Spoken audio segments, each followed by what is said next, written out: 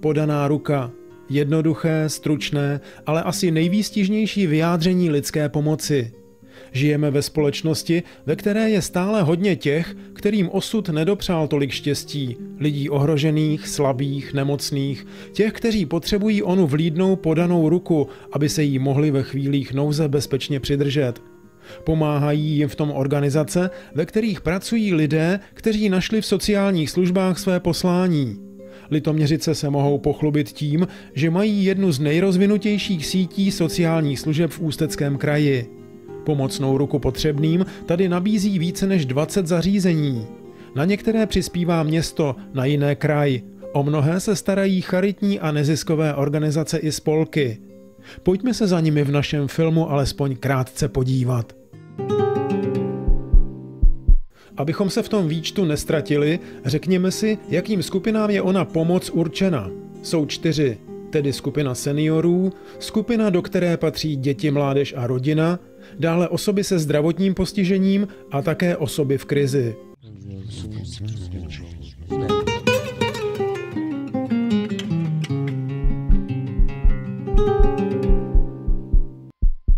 Na Domském pahorku slouží od roku 2009 nový domov pro seniory. Má více než 100 lůžek a jeho zřizovatelem je město Litoměřice, které péči o klienty svěřilo Litoměřické farní charitě. Poskytuje pobytové, stravovací, zdravotní a sociální služby také seniorům, kteří nejsou zcela soběstační. Věková hranice pro přijetí do domova je 59 let. Dění v domově zpestřují různé akce.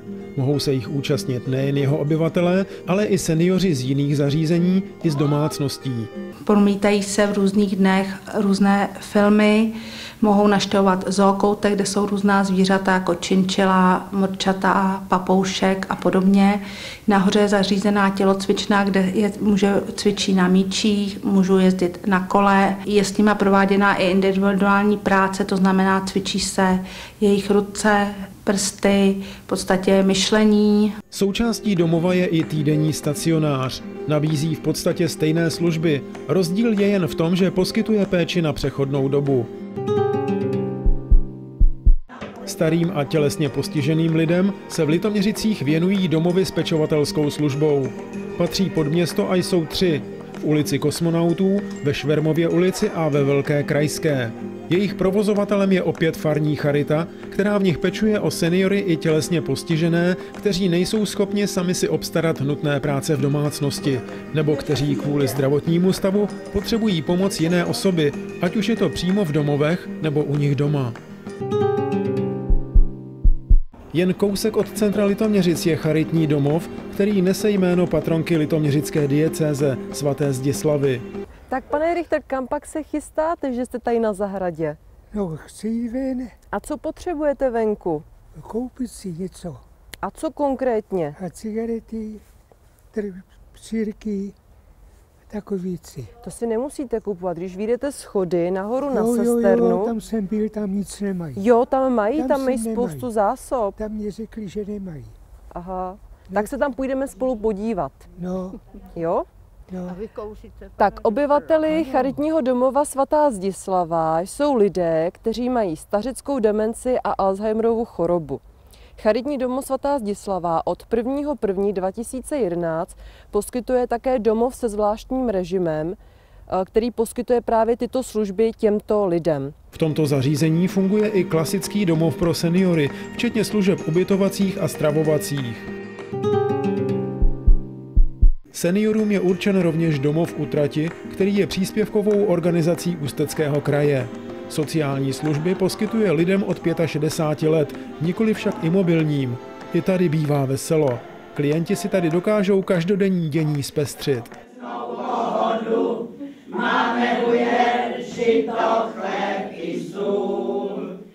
Když se u nás poperou, tak jenom Mařenko, co dneska slavíme? Mám masapost.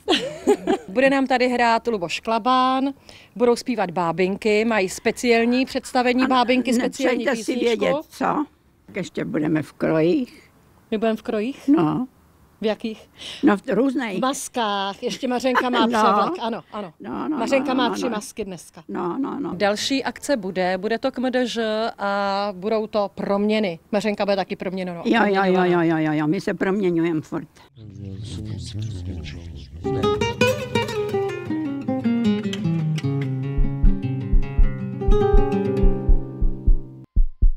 Druhou skupinou lidí, jimž jsou v Litoměřicích určeny sociální služby, jsou děti, mládež a rodina. Práci s touto skupinou se věnuje více zařízení. K těm hlavním patří nízkoprahový klub Oáza, sociálně aktivizační služba pro rodiny s dětmi, pedagogicko-psychologická poradna, manželská a předmanželská poradna a klokánek. Nízkoprahový klub Oáza provozuje litoměřická pobočka Združení naděje. Klub je určen především dětem a mládeži od 12 do 21 let, ohroženým sociálním vyloučením. Mladí tu mohou smysluplně trávit volný čas. Chceme navázat na to, co se tady dobře dělá už vlastně 6 let a samozřejmě i my poskytujeme tyto služby po celé České republice, takže přineseme určitě další, další prvky, které budou jenom ke zlepšení téhle služby. Rodinám s dětmi ze sociálně ohroženého prostředí se věnuje sociálně aktivizační služba v Revoluční ulici. Její pracovník pomáhá řešit problémy týkající se výchovných a vzdělávacích potřeb, mezilidských vztahů v této lokalitě a podobně. Problematikou výchovy dětí a jejich vzdělávacích potřeb se zabývá pedagogicko-psychologická poradna v Palachově ulici. Naše poradna je odloučeným pracovištěm pedagogicko-psychologické poradny Ústeckého kraje, která má sídlo v Teplicích. Přicházejí k nám děti od předškolního věku až po středoškolskou mládež s nejrůznějšími problémy. Týká se to například školní zralosti, výchovných a výukových problémů, profesní orientace, řešení sociálně patologických jevů, jako je šikana. Provádíme také například šetření třídních kolektivů s cílem eh, stmelit eh, třídní kolektiv a pomoci vyřešit nejrůznější problémy. Naše služby jsou zatím bezplatné a může o ně požádat buď to zákonný zástupce dítěte, anebo sám plnoletý klient. Manželská a předmanželská poradna, která sídlí ve stejném objektu, má své poslání jasně vyjádřené už ve svém názvu. Je příspěvkovou organizací Ústeckého kraje. Manželská a předmanželská poradna v Litoměřicích byla založena v roce 1979. Nabízíme pomoc jednotlivcům, párům, rodinám, těm, kteří se nacházejí v nepříznivé životní situaci. V poradně pracuje manželský poradce, právník, psycholog, sociální pracovnice. Všichni jsme vázáni mlčenlivostí, takže klienti, kteří přijdou do poradny, nemusí mít obavy z toho, že informace, které nám tady sdělí, se vynesou z poradny ven. Naše služba je ze zákona bezplatná. Klokánek je symbolem péče o děti, které nemají svou rodinu. Ten litoměřický vznikl v objektu v Alšově ulici a je jedním ze čtyř severočeských zařízení Fondu ohrožených dětí. Na místo ústavní výchovy, která by jinak tyto děti čekala, tady najdou rodinnou péči na dobu, dokud se nemohou vrátit do své rodiny nebo dokud pro ně není trvalá náhradní rodinná péče. V Klokánku máme stále plno, to znamená naplněná kapacita je 24 dětí a na jaře se pochlubíme, že fungujeme už pět let. Prošlo námi, spočítali jsme to asi okolo 140 dětí, což si myslím, že je hezký, protože většina z nich se vrátila zpátky do té širší rodiny anebo do pěstounské péče. S rodinami, dětmi a mládeží jsou v Litoměřicích v každodenním kontaktu i další zařízení, jako například Dům dětí a mládeže Rozmarín a knihovna Karla Hinka Máchy, které jsou příspěvkovými organizacemi města. Nebo třeba informační centrum pro mládež Klika 1, mateřské centrum Klubíčko nebo Valdorfská iniciativa.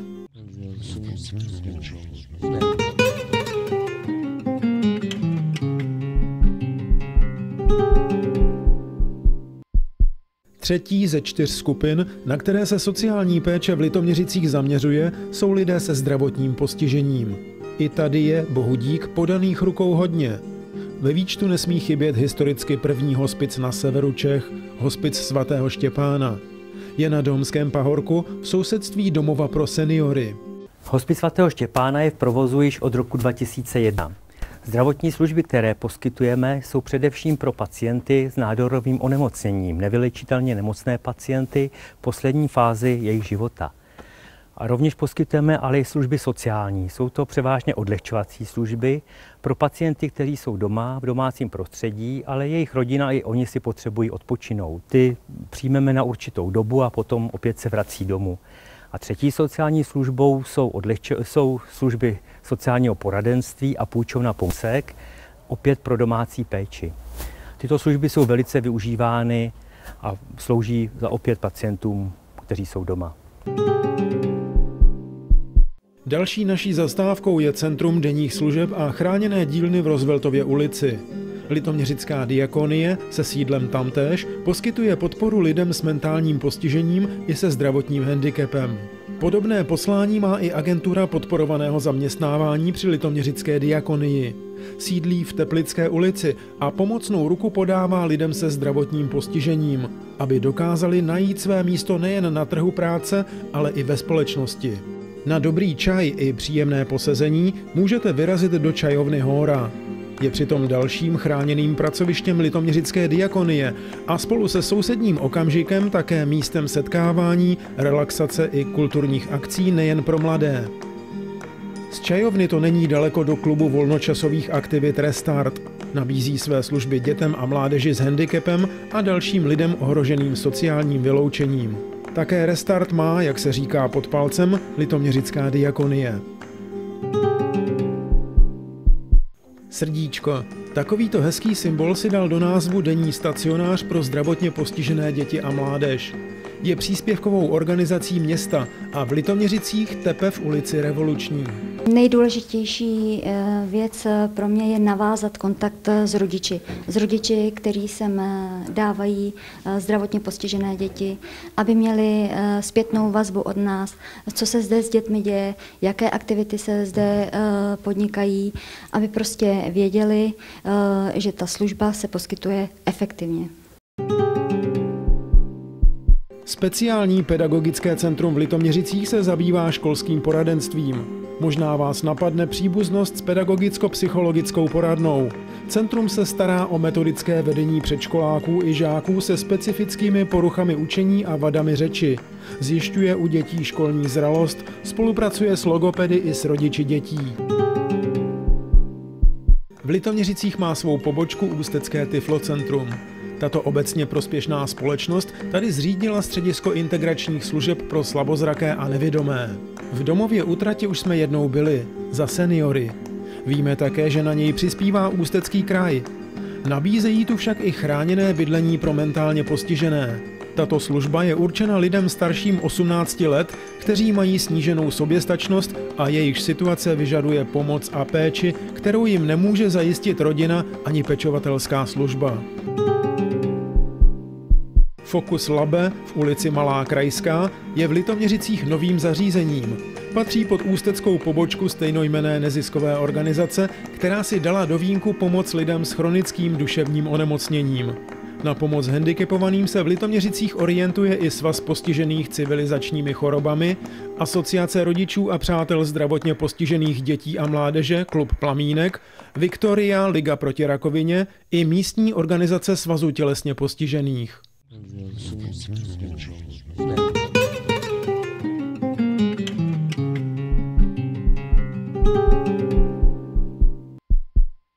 A jsme u čtvrté skupiny poskytovatelů sociálních služeb v Litoměřicích. Ta se zaměřuje na pomoc lidem v krizi. Mohou to být třeba i ti, kteří opustili svou vlast kvůli válečným konfliktům. Těmto lidem pomáhá poradna pro uprchlíky a migranty při litoměřické diecezní charitě. V krizi se ale mohou ocitnout i lidé také kvůli dluhům. Pro ně zřídila diecezní charita ve svých prostorách poradnu pro osoby v zadluženosti. Na Domském pahorku, ve stejném objektu jako jsou zmíněné poradny, má diecezní charita i tzv. šatník. Dalším zařízením sloužícím lidem v krizi je domov pro matky s dětmi v Liškově ulici. O ten se stará litoměřická diakonie. Domov poskytuje azyl matkám, které se chtějí aktivně podílet na řešení své nepříznivé životní situace. Momentálně tady máme šest maminek, jedna se přistěhovala během dneška, tak ta vlastně jenom přihlíží, ale je součástí takového celkového procesu resocializace našich klientek. Jehož nedílnou součástí je i upevňování vztahu mezi matkou a dítětem, který je u našich klientek velice často narušen.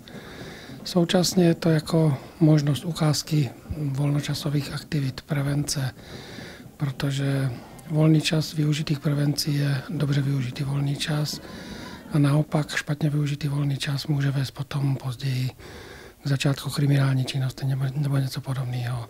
A je to taková ta volnější forma spolupráce při řešení problematiky našich klientek, kromě té odborné sociální práce, poradenství a takovýchto aktivit, které dělají naši pracovníci. Azylovým zařízením v Litoměřicích je i dům Pany Marie Pomocné. Město svěřilo jeho zprávu farní charitě. Posláním domu Pany Marie Pomocné je poskytovat sociální služby osobám bez přístřeší a snažit se o jejich návrat do společnosti. Máme zde registrované tři sociální služby, a to jednak denní centrum pro docházející klienty, pro lidi, kteří zde třeba ani nepřenocují. Všechny služby v denním centru poskytujeme zdarma, je zde hygienické zázemí, možnost vykoupat se, uvařit si vlastní jídlo. Dále potom přenocování na noclehárně, které je spoplatněno 50 korunou na noc. Eh, noclehárna funguje také nízkoprahově, takže se může přijít člověk i bez dokladu. Stačí, když má na úhradu poplatku. V azylovém domě potom poskytujeme celodenní ubytování, které je spoplatněno částkou 100 korun za den. Jedná se spíše o dlouhodobější pobyty, které jsou časově omezené jedním rokem. Zatímco dům Pany Marie Pomocné slouží mužům, ženám je určen asilový dům naděje ve čtvrti Želetice.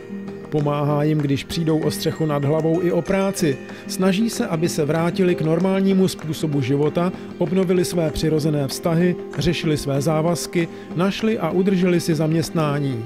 Pracovníci združení jim také pomáhají sehnat návazné bydlení. Podanou rukou lidem, kteří se dostali do závislosti na drogách, je kontaktní centrum. Český červený kříž ho provozuje v Litoměřicích v ulici Novobranská. Je to ten výměný program, kde měníme ty jinější stříkačky za mm, použitý čistý, eh, k tomu i materiál a veškerý ty NIFA. Děláme poradenství, děláme hygienický servis, takže klienti tady mají možnost jakoby toho základního sociálního zázemí, nebo nahrazujeme to základní sociální zázemí, takže se mají možnost osprchovat, vyprat prádlo, eh, zprostředkováváme jim léčbu, eh, děláme tady jako odběry z krve, takže jim, takže jim testujeme jakoby infekční choroby, jestli nemají infekční choroby, testujeme eh, i přítomnost drog v moči, pokud potřebují klienti třeba nastoupit do práce a byli by tam testovaní, tak si takhle u nás můžou vyzkoušet, jestli, jestli jsou už čistý, jestli už z toho vypadli a tak dále. A pak je tam eh, sociální servis, takže někteří naši klienti žijou na ulici, takže nemají ani občanku, nemají vyřízené základní věci, takže tohle to nějakým způsobem je snažíme víc. Máme tam základní zdravotní ošetření a všechno se to jakoby točí kolem těch závislostí, těch nutných věcí, takže eh, dá se říct, jako, že by stěžení je to, eh, to poradenství s tím výměným programem. V Litoměřicích funguje od roku 2010 také potravinová banka v Ústeckém kraji. Sídlí v bývalých kasárnách a schromažďuje potravinovou pomoc pro potřebné, kterou pak rozdělují humanitární organizace. No a jsme v samém závěru našeho dokumentu o sociálních službách v Litoměřicích. Víme, že výčet asi není úplný, vzhledem k rozsahu ani být nemohl. Určitě ale ukazuje, že ruka podaná na pomoc těm, kteří ji potřebují, není v Litoměřicích prázdným pojmem nebo symbolem bez hlubšího obsahu. A to je to nejdůležitější.